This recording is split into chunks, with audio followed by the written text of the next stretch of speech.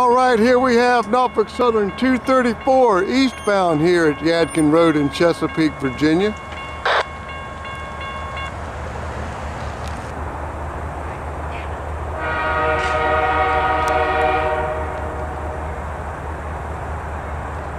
West out of to South Home.